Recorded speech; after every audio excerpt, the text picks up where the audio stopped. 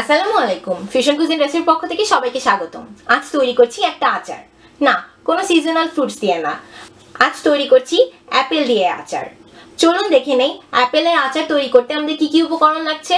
দুটো বড় সাইজের সবুজ আপেল। আমাদের দেশের দোকানে এরকম সবুজ আপেলের মতো দেখতেই একটু হলদেটে আপেল পাওয়া যায়, যেটাকে আমাদের দোকানদাররা স্বাভাবিকভাবেই বেচার জন্য বলে থাকে যেটা সবুজ আপেল পেকে এরকম হলদেটে রং হয়েছে। না, এটা টোটালি ভুল কথা। যে আপেলটা ওরা বিক্রি করে, সেই আপেলটা হলো ডিফারেন্ট জাতের একটা আপেল। ওই আপেলটাকে ওরা বলে থাকে গোল্ডেন আপেল চেষ্টা করবেন ওই গোল্ডেন আপেলটা না নেওয়ার। এরকম সবুজ দেখতে একটু শক্ত টাইপের আপেল নেওয়ার।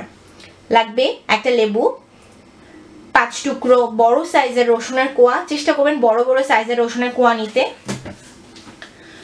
সরিষার তেল, আমি এটা বাগারের সময় ব্যবহার করব, তাই তখন আমি আপনাদেরকে পরিমাণটাও বলে দেব।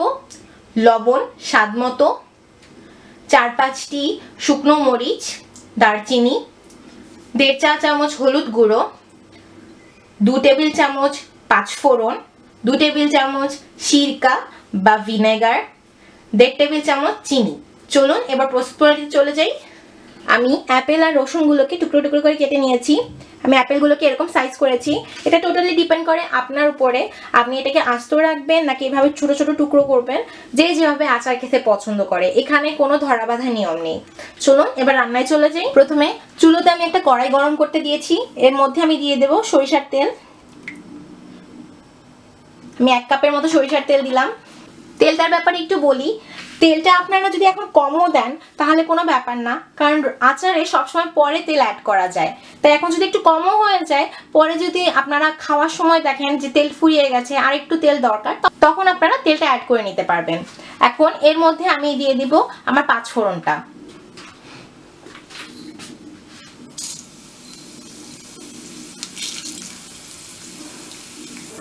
পাঁচ ফোড়নটা এরকম যখন ফুটে উঠবে তখন এর মধ্যে দিয়ে দিতে হবে মরিচটা।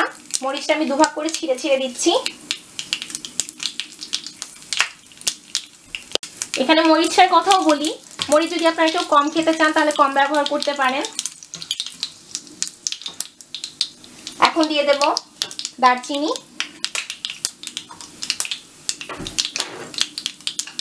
এই মশলাটাকে একটু ভেজে এরপরে আমি এতে দিয়ে দেবো আমার হলুদটা। দিয়ে দিচ্ছি হলুদটা।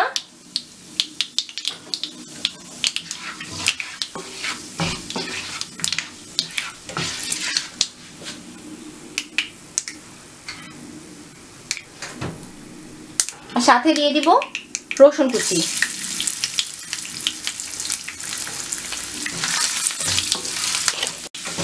রসুনটা যখন একটু ভাজা ভাজা হয়ে আসবে, তখন আমি দিয়ে দিব আমার অ্যাপেলটা।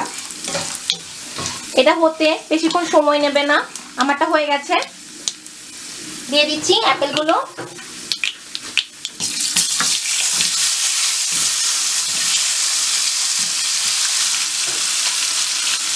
আমার চুলার আঁচ মিডিয়াম থেকে হাইয়ে আছে।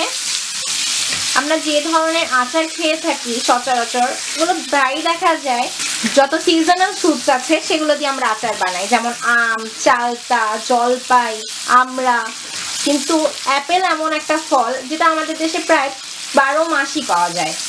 তাই আজ আমি অ্যাপেলের আচার দেখাচ্ছি যাতে আপনারা বারো মাসই এই আচারটাকে বানিয়ে খেতে পারেন।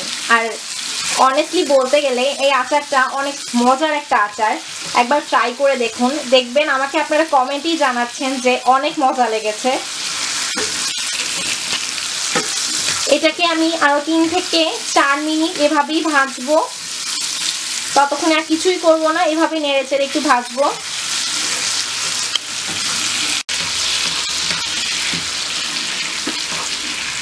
এখন এর মধ্যে আমি দিয়ে দেব আমার লেবুর রস। এখানে প্রায় তিন টেবিল চামচের মতো লেবুর রস আছে।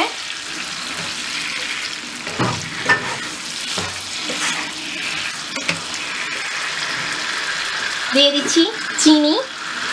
চিনিটা আমি এখানে দেড় টেবিল চামচ দিলাম। আপনারা যদি চিনি একটু কম দিতে চান, তাহলে একটু কম দিতে পারেন। বাট দেড় টেবিল চামচ এই অ্যাপেলটার জন্য পারফেক্ট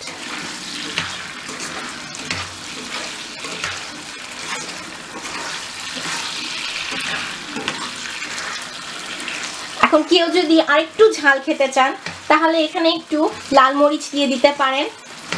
আর যদি আরও একটু ঝাল চান, যেমন আমি করি, প্রতিবার আচার বানানোর পরে, এর মধ্যে আমি একটু নাগা মরিচ দিয়ে দিই।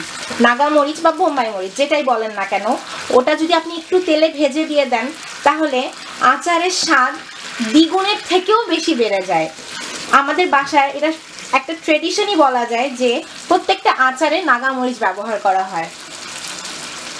আমি এটাকে আরও চার থেকে পাঁচ মিনিটের মতো এরকম নাড়বো। ফিরছি চার থেকে পাঁচ মিনিট পরে। এই পর্যায়ে দিয়ে দিচ্ছি আমি শিরকাটা খেয়াল করবেন, আমি কিন্তু এখনও লবণটা দেইনি। আমি লবণটা শুরুতেই দেইনি, এখন আমি লবণটা অ্যাড করব। সব সময়ে যখন অ্যাপেলের আচার বানাবেন, তখন লবণটা শুরুতেই দেবেন না। সব কিছু দিয়ে সব ইনগ্রেডিয়েন্টস যখন একসাথে মিশে যাবে, এরপরে আপনি লবণটা অ্যাড করতে পারবেন। দিয়ে দিচ্ছি লবণটা। লবণটা যে যার স্বাদ মতো দেবেন।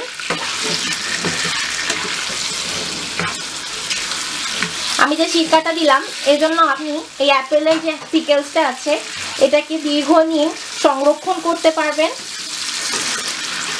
তো এটা যে বানিয়ে খেয়ে ফেলতে হবে, এমন কোনো কথা নেই। আপনারা রেখে অনেক দিন পর্যন্ত এটাকে সংরক্ষণ করে খেতে পারবেন। হয়ে গেছে, এখন আমি তুলে নিচ্ছি। তৈরি হয়ে গেল আমার মজাদার অ্যাপেলের আচার। কি ভাবছেন? এখনই তো আপনারা বলতে পারছেন না মজাদার কিনা, তাই না? বাসায় চেষ্টা করুন, আমার বিশ্বাস আপনারাও আমার সাথে সুর মিলিয়ে বলবেন, এটা একটা মজাদার আচার। বাসা যদি তৈরি করে থাকেন, আমার সাথে শেয়ার করতে কিন্তু ভুলবেন না কেমন লাগল। রেসিপিটি ভালো লাগলে লাইক করবেন, এমন ডিফারেন্ট একটা আচার সবার সাথে শেয়ার করুন, যাতে সবাই এটা তৈরি করে খেতে পারে। আর আমাদেরকে উৎসাহিত করতে আমাদের চ্যানেলকে সাবস্ক্রাইব করতে কিন্তু ভুলবেন না। আবার দেখা হবে নতুন কোনো মজাদার রান্না নিয়ে। ততদিন পর্যন্ত ভালো থাকুন ধন্যবাদ।